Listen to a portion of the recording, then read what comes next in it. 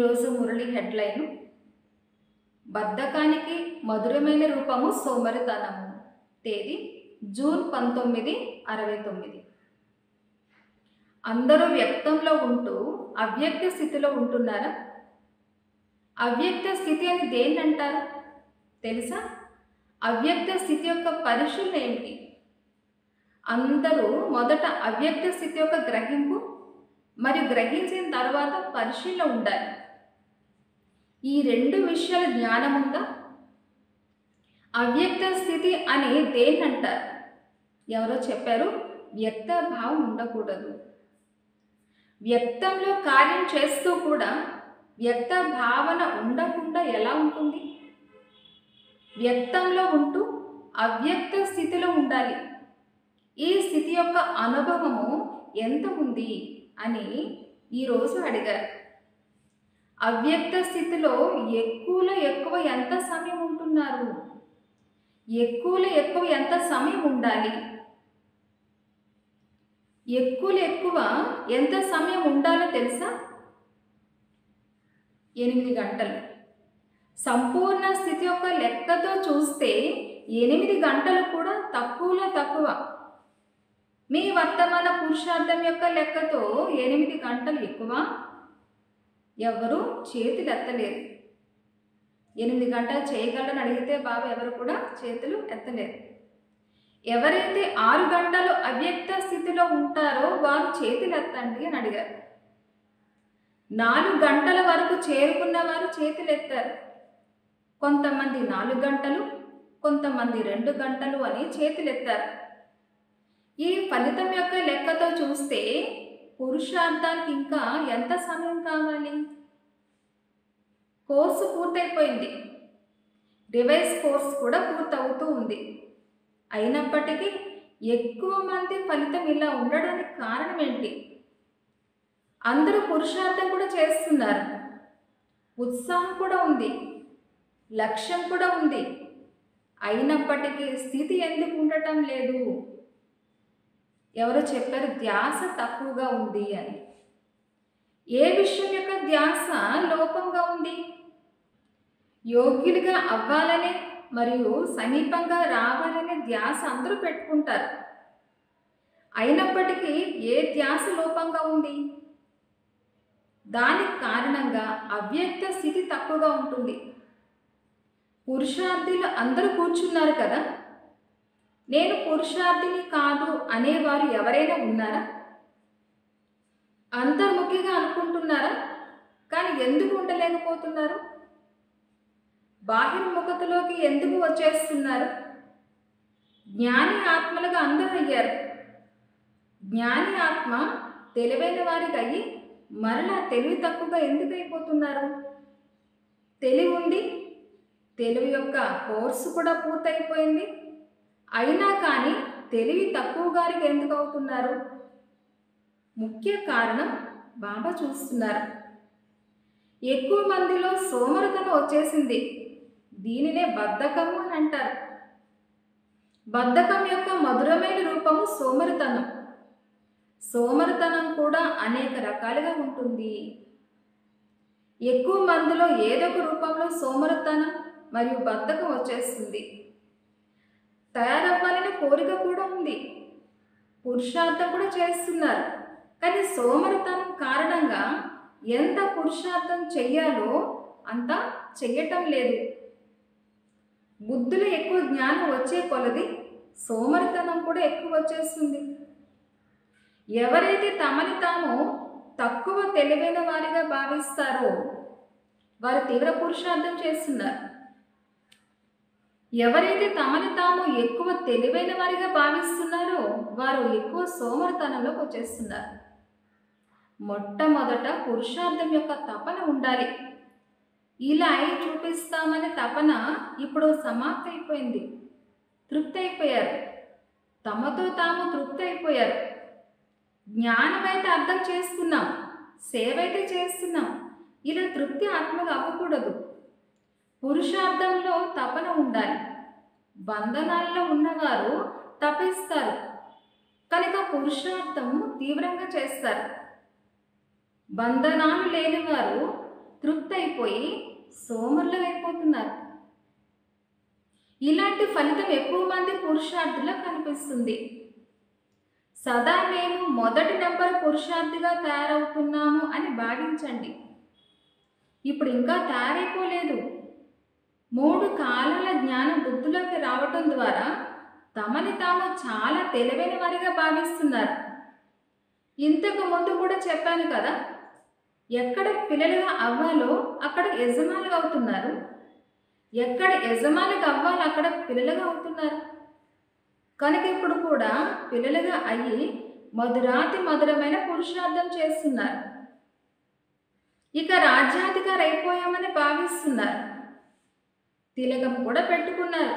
కానీ ఈ బలహీన మరియు మధురమైన పురుషార్థం ఇప్పుడు నడవదు. ఎంత శక్తి రూపంలో స్థితులవుతారో అంత పురుషార్థం కూడా శక్తిశాలిగా అవుతుంది. ఇప్పుడు పురుషార్థం శక్తిశాలిగా లేదు. బలహీనంగా ఉంది. అందరు పురుషార్థులే కానీ ఎంత శక్తిశాలి పురుషార్థం ఉండాలో అంత శక్తి పురుషార్థంలో నిండటం లేదు.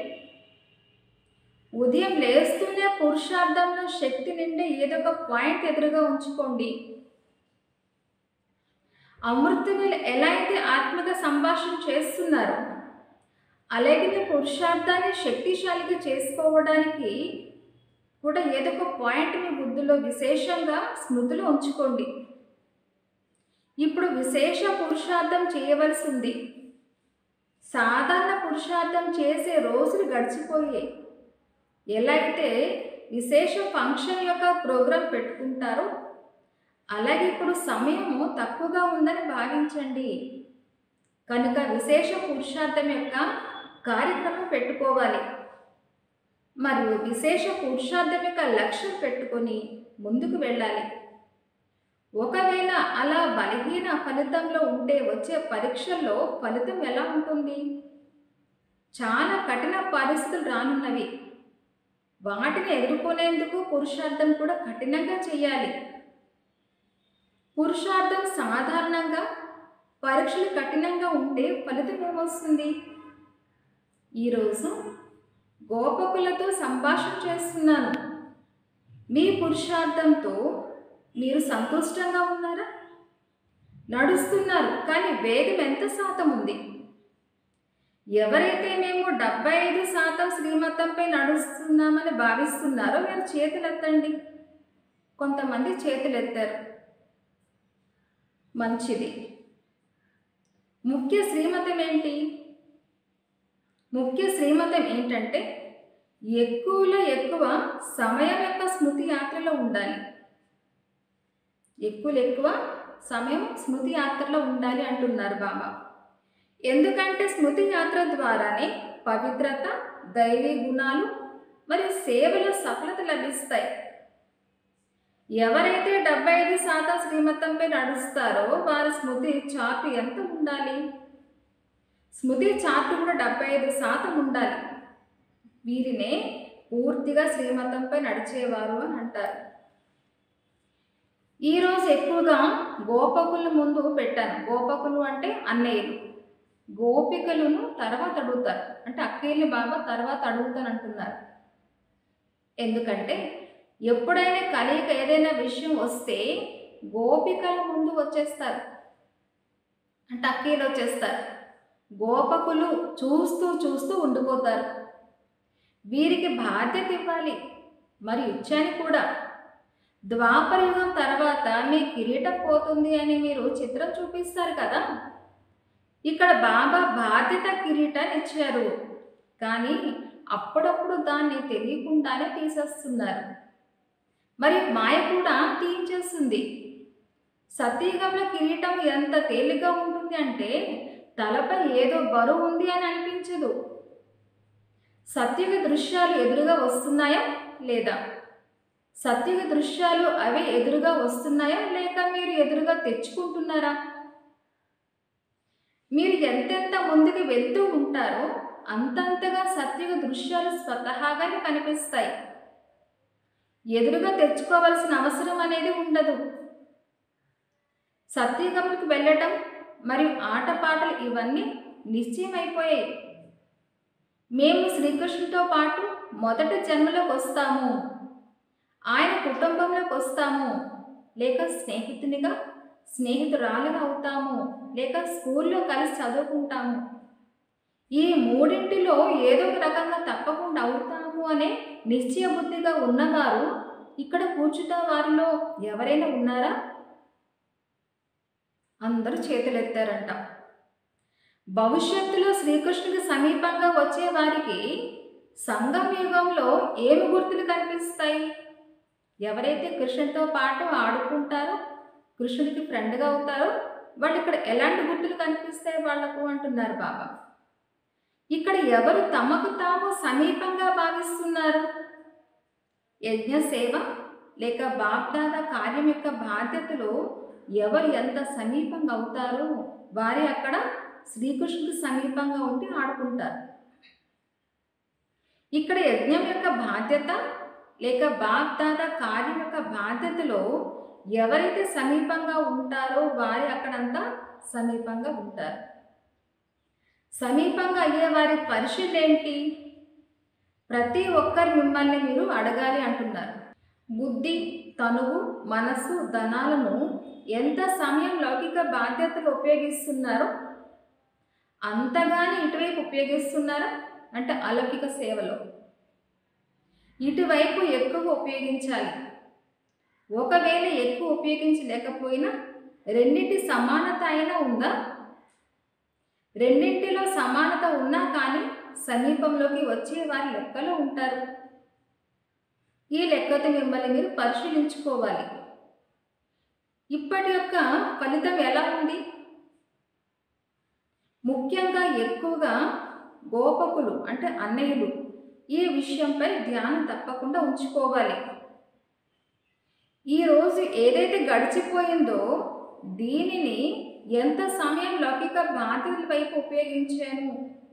మరి ఎంత సమయం అలౌకిక లేదా పారలౌకిక బాధ్యత వైపు ఉపయోగించాను అనేది మనం చూసుకోవాలి.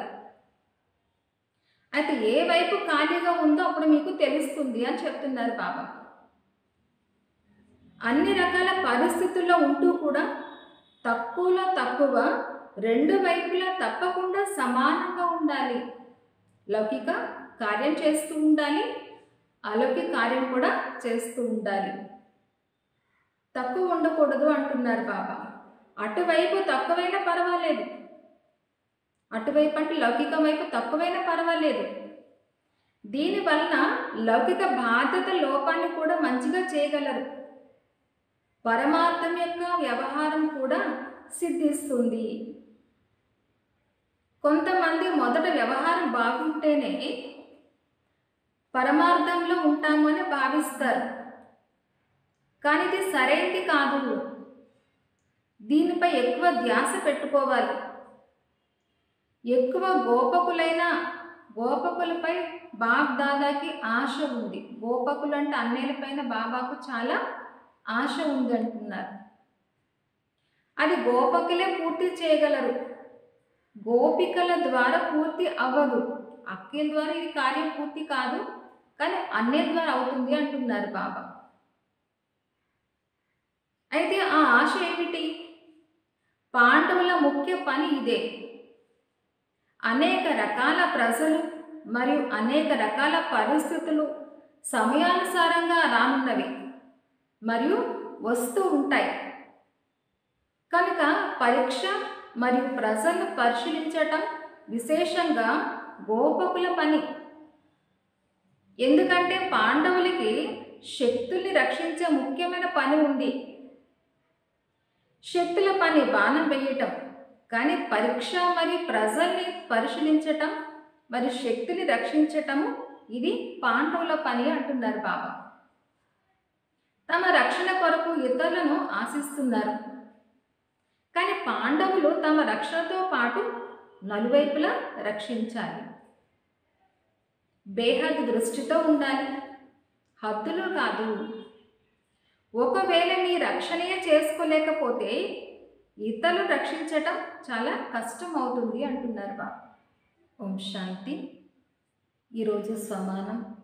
నేను ఎవరిడి ఆల్రౌండర్ను.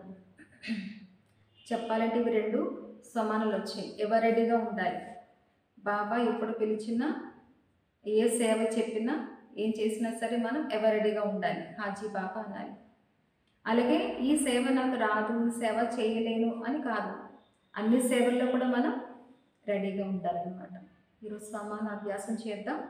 నేను ఎవరెడీని ఆల్రౌండర్ని. ఓం శాంతి.